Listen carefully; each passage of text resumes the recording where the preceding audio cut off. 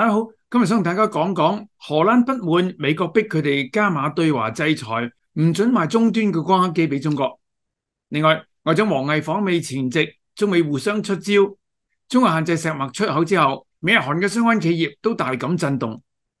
外長王毅喺十月二十六至二十八日訪美，為十一月喺舊金山舉行嘅亞太經合組峰會嘅時候舉行嘅集拜會做最後嘅確認。喺王毅訪美之前，中美繼續互相出招。美國提前對華芯片嘅限制，美國商務部喺十月十七日就先進嘅電腦芯片、超級電腦同埋半導體製造設備嘅相關出口管制發布咗新規定，進一步強化舊年十月頒布嘅對華芯片出口限制，導致到英偉達被禁止出口 A 八八同埋 H 八八芯片俾中國。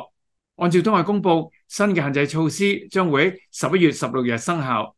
但英偉達公司表示，美國政府喺十月二十三日通知佢哋。從即日起禁止芯片出口嘅新規定就馬上生效。英偉達指冇美國政府嘅許可，英偉達必須停止向中國運送 A 八八同埋 H 八八芯片。呢兩種芯片喺二零二二年十月美國實施人工智能芯片出口限制之後，英偉達特別為中國度身訂造嘅，而家就連呢兩種芯片都唔可以再賣俾中國。日經亞洲認為美國將禁令提前實施，可能係試圖阻止中國對英偉達產品進行突擊囤貨。呢啲產品目前主要係用喺人工智能上面，對人工智能訓練至關重要。但向中國供應人工智能芯片嘅另外兩間美國嘅主要芯片製造商 AMD 同埋英特爾就冇話到美國政府對佢哋有新規定。另一方面，美國商務部喺十月十七日加碼限制光刻機輸往中國嘅規定，亦都遭到荷蘭議員大力抨擊。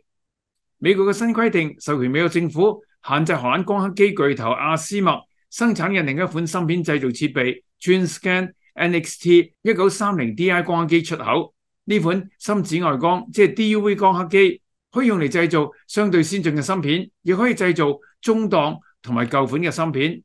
原本未包入今年荷蘭出口許可規定當中，如今就加入禁制。美國隨意咁一而再、再而三咁加碼限制光刻機巨頭阿斯麦嘅設備出口，由最先進嘅 UV 光刻機擴展到 DUV 光刻機，而家再擴展到冇咁先進類別嘅 DUV 光刻機，阿斯莫將來恐怕都冇咩光刻機可以賣俾中國啦。但美國嘅新規定喺荷蘭就惹起好大反響。荷蘭金融日報引述阿斯莫內部消息人士話，荷蘭產品嘅出口許可證現在由外國勢力控制。報道解釋話，由於美國對先進技術嘅定義比荷蘭更加寬泛，咁意味住阿斯莫需要出口某啲半導體設備俾中國嘅時候，需要向美國申請許可證。荷蘭基督教民主聯盟眾議員阿姆豪什十月二十四日就質詢荷蘭外貿易發展大臣斯賴納馬克爾，佢話即使係好盟友美國喺一場事關競爭力同埋戰略自主權嘅博弈中，由佢單方面改變規則，亦都係好難容忍嘅。阿姆豪什話：美國利用經濟措施達到地緣政治目的嘅做法，損害咗荷蘭光刻機呢粒經濟皇冠上面嘅明珠。為荷兰以至整個歐洲嘅企業都帶嚟咗好多不確定性。佢呼籲內閣喺布魯塞爾同其他歐洲盟友共同討論，令呢個問題變得可以談判，唔係由美國說了就算。除咗荷兰基督教民主聯盟嘅議員之外，綠綠民主黨同埋福特黨嘅議員都批評美國嘅政策。綠民主黨眾議員哈默爾伯格話：我一啲都唔喜歡美國人喺呢方面嘅所作所為。舊年荷蘭已經同美國、韓國同埋日本就部分芯片產品嘅出口許可證達成咗明確嘅協議，但係如今美國單方面又邁進咗一大步，要加碼制裁，強迫荷蘭同佢同步剝奪咗荷蘭嘅戰略自主權。佢敦促荷蘭內閣部長就此發表更加強硬嘅言論，並且詢問荷蘭會唔會提出任何反對意見。另一個政黨福特黨嘅眾議員庫霍克就進一步話，即使佢能夠理解美國出於國家安全考慮嘅措施。但呢啲做法，同時亦都涉及國家嘅經濟利益。佢想知道荷蘭能唔能夠擺脫美國嘅禁令。對此，荷蘭外貿易發展合作大臣馬克爾就話啦：荷蘭內閣唔反對美國嘅新規定，但係佢同意相關問題應該以更加歐洲化嘅方式解決，即係同更加多歐洲國家進行協商。佢仲話：就目前與美方嘅對話而言，冇任何跡象表明佢哋嘅出口限制措施同經濟利益有關，只係基於美國嘅安全分析。荷蘭外務大臣馬爾克同時強調，荷蘭目前只係得到美方大纲式嘅通知，細節仲喺度研究當中。據佢講，迄今為止，荷蘭只係同美國就限制措施進行咗談判。但係如果能夠就此事同歐盟其他成員國進行協調，當然會更好。歐盟係一股強大嘅力量，佢必須加以利用。佢並且準備同荷蘭首相一齊將呢個議題攞去歐盟討論。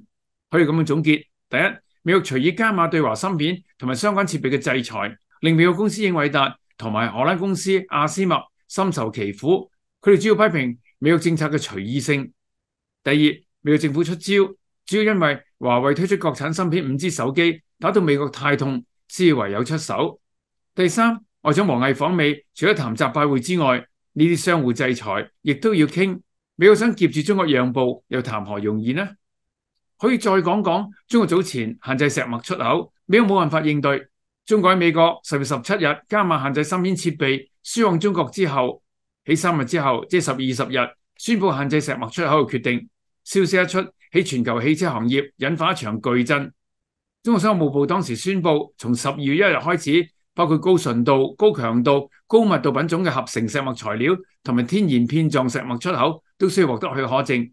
韓國馬上就感受到震動啦。韓國產業通商資源部第一次官張英珍喺十二月十三日主持召開咗應對石墨供應鏈嘅文官聯合會議。會上，電池行業人士呼籲政府繼續同中方保持溝通。會後，韓國政府即刻同大韓貿易投資振興公社等機構聯合啟動石墨供應應對工作組，並且承諾通過高級別合作等外交渠道同中方保持緊密溝通，希望可以保住石墨嘅供應。日本亦都急谋對策，日本嘅三菱日產汽車公司正在同法國雷諾等合作伙伴商討對策，探討共同採購石墨嘅可能性。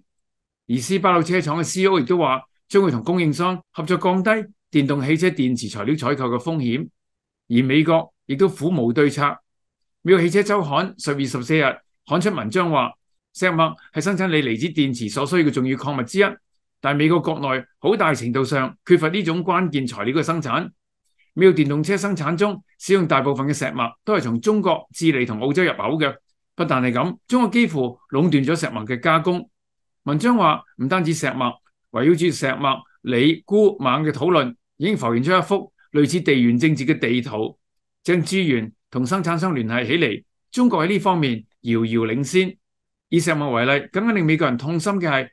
不但中國喺石墨開採方面領先，中國喺加工方面亦都領先。中國嘅立青塗層工藝可以將石墨嘅價值增加五十個 percent。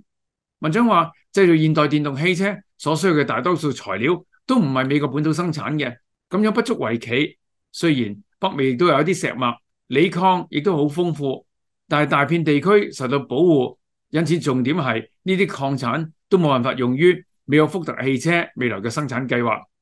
問題更大嘅係市場本來對石墨嘅需求未來都會大幅上升。能源行業監測機構嘅數據顯示，當前對石墨嘅需求，全球嘅生產大致上供需持平，但係呢種持平嘅和諧景象唔會持續太耐，預計到二零二五年。石墨將會供不應求，業內人士話呢種情況會持續到二零三三年，因為各國嘅汽車製造商都將二零三五年定為汽車全電動化嘅限期。舊年全球嘅電動車就增加咗五十五個 percent，未來需求仲會大增。不幸嘅係，對於汽車製造商嚟講，冇咗石墨製造汽車級嘅電池幾乎係冇可能嘅。石墨喺傳統鋰離子電池嘅陽極中佔九十五個 percent，每千瓦嘅電池能量。大約需要兩磅石墨，石墨作為電動汽車電池嘅主要材料，目前仲冇可靠嘅替代材料。美國汽車行業已經大聲示警，但系美國政府暫時仲冇咩回應。可以咁樣總結：第一，美國投資網站就解釋咗中國管制石墨出口係中美之間不斷升級貿易戰嘅一部分，因為美國最近向中國企業出口半導體實施咗進一步嘅限制。第二，並唔係只有美國可以單方面不斷加碼制裁中國，中國亦都可以加碼，喺限制加同埋遮兩種金屬出口之後，今次輪到限制石墨，未來仲可以有其他矿物。第三，美國嘅脫鈎斷鏈策略其實係走唔到落去嘅，最後中美只能夠埋台傾。另外喺十一台嘅時事快評，我講到俾哈馬斯劫持做人質嘅兩個以色列婆婆，佢哋獲得釋放之後，話哈馬斯善待佢哋。以色列輿論就狠批以色列政府出咗一場公關災難。歡迎訂戶去十一台收睇我嘅評論。大家好，